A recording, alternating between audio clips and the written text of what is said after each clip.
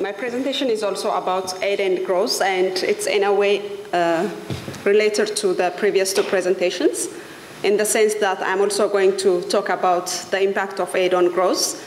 But unlike the two uh, presentations, my focus will be like in analyzing the accumulated evidence of aid on growth in the past uh, three or four decades using uh, meta-analysis.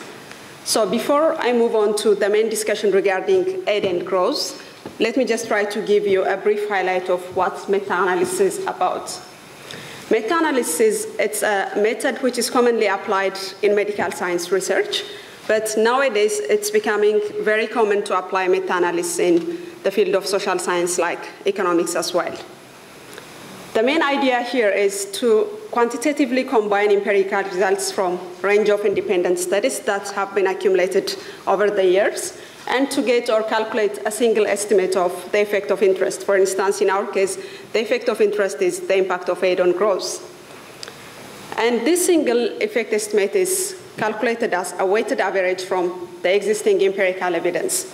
So in doing so, one can either allow for or ignore the heterogeneity or difference between the studies under consideration, depending on the assumption that the meta-analyst makes regarding the true impact of aid on growth, for instance, in this case.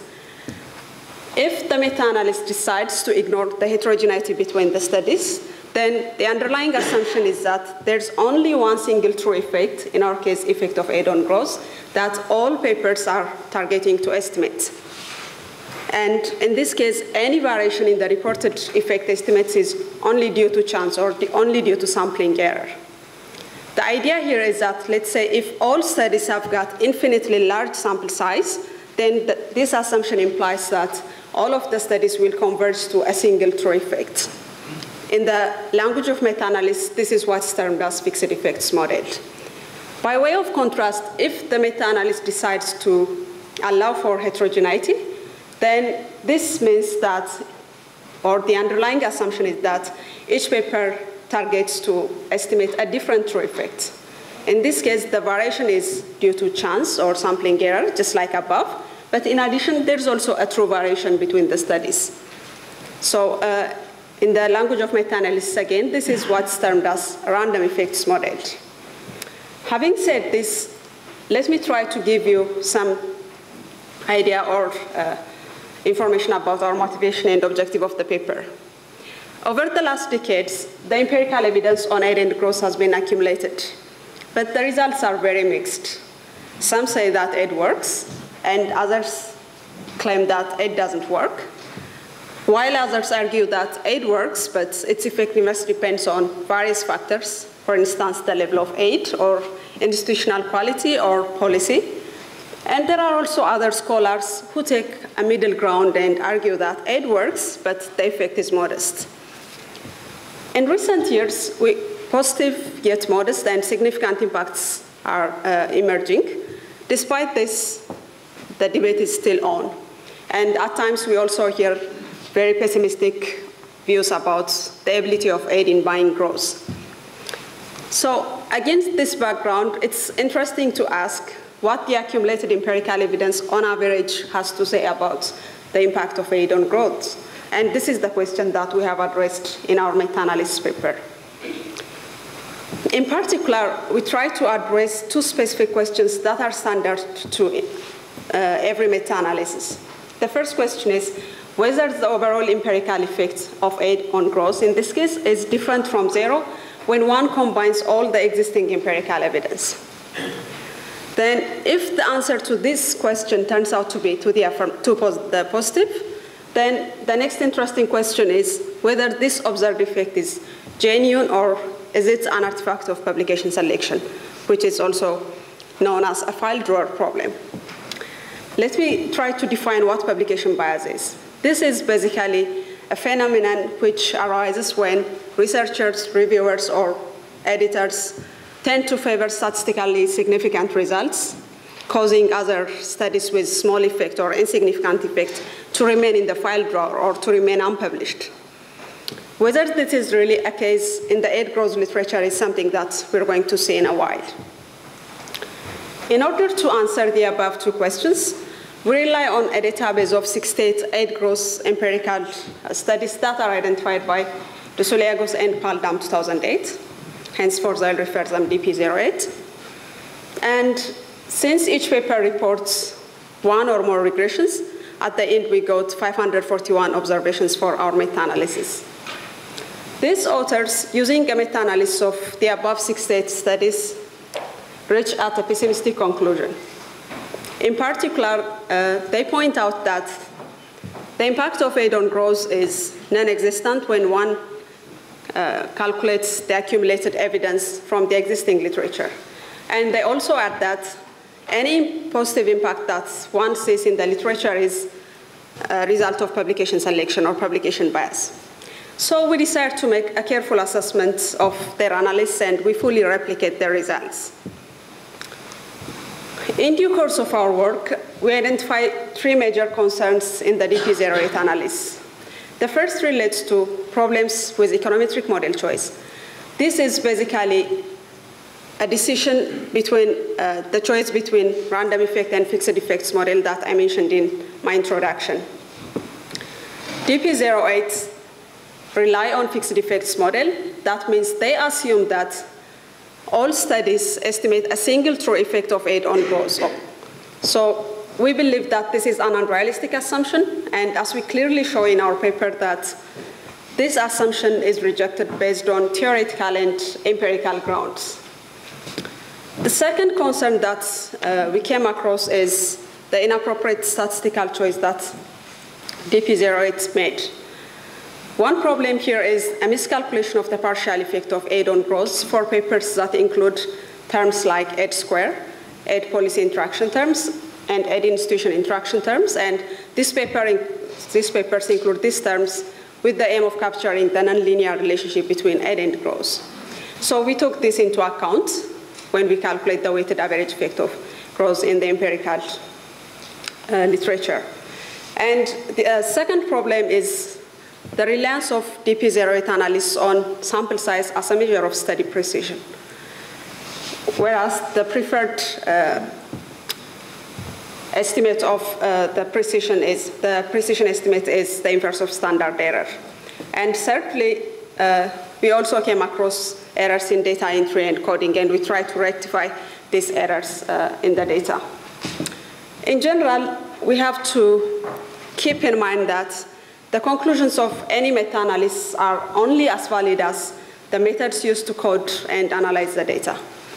So cognizant of this fact, we try to follow more appropriate methods that better reflect the econometric, statistical, and data challenge at hand, and also which are in line with the best practice and guidelines and meta-analysis. So what did we find? Our assumption of heterogeneity in the true effect of aid on growth across the six state studies gets clearly confirmed, both with statistical tests and graphical tools.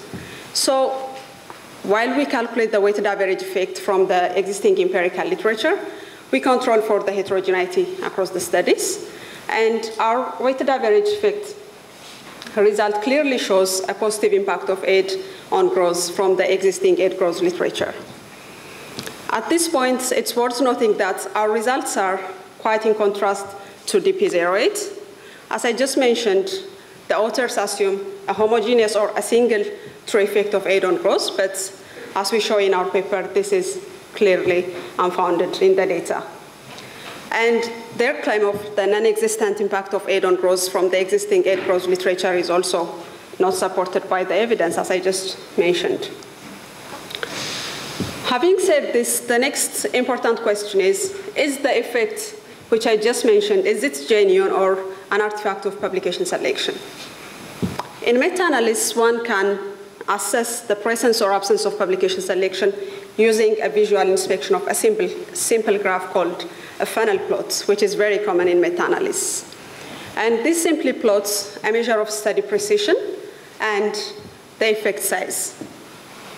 The main idea is that if there's no publication bias, then we should be able to see an inverted funnel shape. So do we have that in the aid growth literature? This is the graph we got while we do the funnel plot of the aid growth literature. As you can see, it's pretty much similar to an inverted funnel shape. And the intuition here is that the vertical line in the middle of the graph is the estimate of the true effects from the literature. So as you can see, the estimates are distributed on both sides of the true effect. The idea is the effect estimate of less precise studies will be widely distributed across the true effect. And then as precision of the estimates increases, then they start to converge to the true effect. So this will give us an inverted funnel shape. And that's what we got from the aid growth literature, suggesting that there is no publication or directional bias. But we don't make a, a, firm conclusion out of this graph because this is based on visual inspection. So in order to make a firm conclusion regarding absence of publication bias, we also run regression-based tests uh, which are available in meta-analysis. In particular, we ran a multivariate regression for publication bias by including all the important study characteristics, like the methods that are used in the papers, the data, and the sample, and things like that. And the evidence from all multivariate regression clearly shows the absence of publication bias in the aid growth literature. Moreover, our multivariate meta-regression analysis also confirm or corroborate the authenticity of the positive impact of aid on growth in the literature. Again, our conclusions are in stark contrast with DP08, but this shouldn't come uh, as a surprise because as we clearly indicate in our paper, their analysis is exclusively based on a bivariate regression which fails to control important study characteristics. So, in conclusion, if one considers economic growth as an outcome indicator, then the existing aid growth literature on average shows a positive and statistically significant impact of aid on growth. And above all, the meta-analysis clearly shows that this effect is genuine and it's not an artifact of publication selection. But we don't believe that this is the whole story about aid effectiveness. As Sam rightly mentioned, aid has multifaceted objectives and it's given for various reasons. And economic growth is only one of the objectives. In fact, poverty reduction and improvement in quality of life is among the main targets of foreign aid programs, particularly following the adoption of the Millennium Development Goals. So we need to keep those important outcomes in mind while we make assessment of aid effectiveness.